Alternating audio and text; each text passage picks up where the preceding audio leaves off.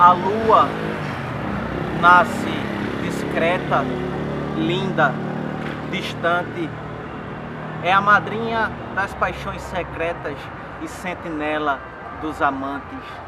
Vejo a lua distante, vestida de tantas as formas, crescente, cheia, minguante. Ela sempre renasce nova. Os céus se alegram com a sua presença. Lhe contemplar é a minha sentença. Lhe quero com amor ardente.